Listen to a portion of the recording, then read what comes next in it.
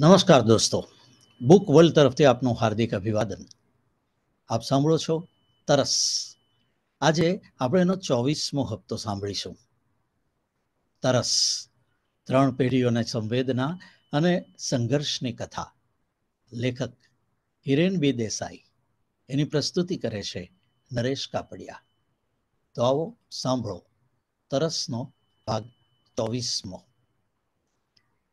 પોતાના પિતાજી મરી ગયા ત્યાં સુધી રઘા કાકા અને વાલકી કાકી જેમણે એમને સાથ આપ્યો હતો. અને ત્યાર પછી શેઠાણી મન્મથરાયની સાથે સુરત રહેવા ચાલી જતા પોતાનું ખેતી કામ કરતા દીકરા ભેળા ગામમાં જ રહેલા એવા રઘા કાકાનું અવસાન થયું. અને એટલે મન્મથરાય વિજયાની સાથે ગામ ગયા અને બે ત્રણ દિવસ રોકાયા પણ ખરા. આ દિવસો દરમિયાન એમણે જેને આધ ભાગે ખેતી આપી હતી તેની પાસેથી જાણી લીધું કે હવે ખેતીમાં ખાસ કસ રહ્યો નથી. સાવ આછી પાતળી આવક થઈ ગયાને કારણે એને પણ હવે એમાં રસ રહ્યો નહોતો.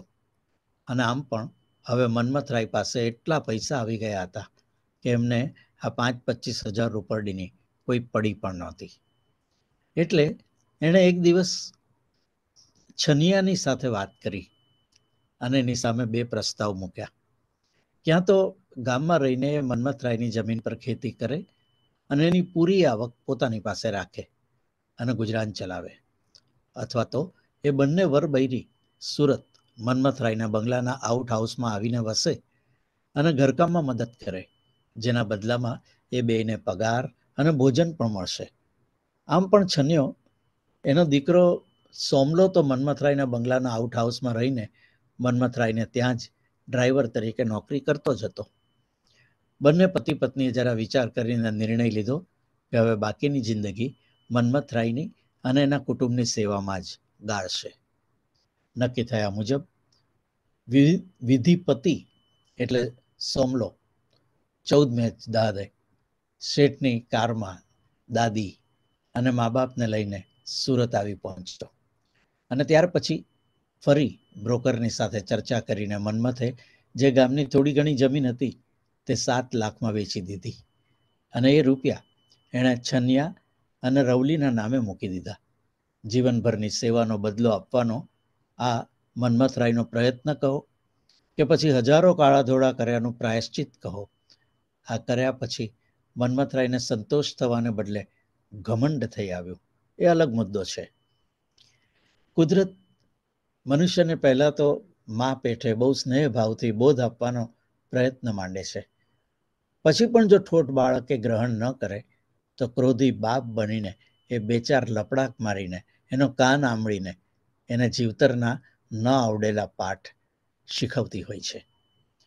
મન્મથરાય પણ આવા જ શ્રીમંત, છતાં અભ્યાસમાં અને જીવનના પાઠ શીખવામાં સાવ જ કાચા. એટલે જ્યારે એ સાનમાં ન સમજ્યા, ત્યારે કુદરતે અને એવી અડબોથ મારી કે તે એક પણ નહીં, બબ્બે.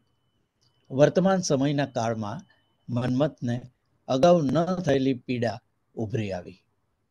વર્ષેક પૂર્વે જ રહેલી પહેલી લપડાક એને માતાના રહસ્યમય મૃત્યુની પડી હતી. એમના મૃત્યુની આગલી રાત્રે જ માએ મન્મથને પોતાને ઓરડે વારંવાર તેડાવીને વાતો કરી હતી. એમની વાતો શું હતી? બે ચાર શિખામણના શબ્દો કયા હતા? બ્રેકલેસ કારની માફક પૂરપાટ ધસી રહેલા મન્મથરાયને માતાની એ વાતોનું સ્પીડ બ્રેકર દેખાવું જોઈતું હતું. તો કદાચ એ પછીથી થનારા અકસ્માતોમાંથી સાંગોપાંગ ઉગરી શકતે. પરંતુ લાતનું ભૂત વાતોથી ક્યાં ભાગતું હોય છે? અને વળી મન્મથરાય તો એવું ભૂત હતા કે લાતથી પણ એ ન સુધરે. માએ દીકરાને પલંગ પર બેસાડીને કહ્યું હતું, દીકરા તું તો જાણે જ છે કે આપણે કેવી કંગાલિયતના દિવસો જોયા છે. તારા બાપે જિંદગીભર મજૂરી કરી, ત્યારે બે ટંક આપણે ભોજન પામ્યા. અને પછી તું અવળા રસ્તે ચડ્યો અટલિયા અને એના કાકા તરફથી તને મદદ મળી, તો તારી ગાડી પાટે ચડી અને પૂરજોશ દોડવા પણ માંડી, પણ પૈસાદાર બનવાની ધૂનકીએ તને સારો માણસ ન રહેવા દીધો. જે થાળીમાં તે ખાધું તેમાં જ કાણું પાડ્યું. ધનવાન બનવાની લાઈમાં અનેક કાળા ધોળા કર્યા. કોઈની તે પરવા ન કરી. અમારી તો ઠીક, પણ તારા પોતિકા બાળકો અને વિજયાની પણ તે કદર ન કરી. આ ન કદી એમનો સરખો સમય આપ્યો કે ન તે એને પૂરતો સ્નેહ આપ્યો. જિંદગીમાં અને સંસારમાં માણસ એની સારપથી ઓળખાય છે, જે તું લગભગ ગુમાવી ચૂક્યો છે. કદીક ભલાઈના કામો કરી લે છે, તેમાં પણ ગંધ તો સ્વાર્થની જ આવે છે. મેં આટલા વર્ષોમાં તને કશું જ કહ્યું નથી. તારા બાપે તો કદી આ વિશે રાવ પણ કરી નથી. પણ મને લાગે છે કે મારો અંતકાળ આવે તે પહેલા. તને ચેતવતી જાઉં કે જેથી તું તારા જીવનની રાહ બદલવા ચાહે તો બદલી શકે. ઈશ્વરની નજરે એક વખત નઠારા જણ તરીકે ચઢી જઈએ ને પછી એ ખેર નથી રાખતો. અને તેથી જ કહું છું બેટા, કરેલી ભૂલો સુધારી લે. તારી પેટની જણીને આટલા વર્ષોથી દૂર રાખી છે, તેની સાથે સંબંધ સુધારીને આખું પણ સુધારી લે. હું તો આજે છું અને કાલે ન પણ હોઉં. પછી તને કોઈ કહેનાર કે સમજાવનાર નથી? જરા વિચાર કરી જોજે શાંતિથી. કોણ જાણે કેમ તે દિવસે ખૂબ ગુસ્સો આવતો હોવા છતાં આશ્ચર્યજનક રીતે મન્મથ બિલકુલ ચૂપ રહીને માને સાંભળતો રહ્યો. હા, એના વૃથા અભિમાને એને માની વાત માનવાથી વાર્યો જરૂર. બરાબર બીજી જ સવારે મોંમાં ડૂચો મારેલી અવસ્થામાં માની લાશ પલંગમાંથી મળી આવી. મન્મથનું હૈયું આઘાતથી આહત થઈ ગયું. એક અમંગળ વિચાર વીજળી પેઠે મનમાં ઝપકી ગયો. કે માએ જાણી જોઈને પોતાનો શ્વાસ રૂંધી દઈને આત્મહત્યા તો નથી કરીને? પણ પછી તરત જ મનને એ દિશામાંથી વાળી લીધું અને સ્વસ્થતાપૂર્વક માને અગ્નિદાહ પણ આપી દીધો. અન્ય કોઈને ડોસીના મૃત્યુથી ફરક નહોતો પડતો. પડતો હોય કોણ જાણે? રામ જાણે. પણ બિચારી વિજયા એ બહુ જ એકલતા અનુભવવા માંડી. અમૃતા ઘરમાં હાજર જ રહેતી. પણ હજી એ નવી સમય હતી. એની સાથે કેટલી હદે અંગત દુઃખો શેર કરી શકાય તેની હજી વિજયાને સમજ નહોતી પડતી. વિજયા બહુ જ દુઃખી થઈ ગઈ. બાકીના તો પંદર દિવસથી પોતપોતાનામાં વ્યસ્ત થઈ ગયા. વિજયા મૃત સાસુના ઓરડા પર જઈને કલાકો સુધી એમના પલંગ પર બેસી રહેતી. એનો જાણે દેહ જીવતો હતો, પણ આત્માનું પંખી તો દેહનો માળો છોડીને ઉડી ગયું હતું.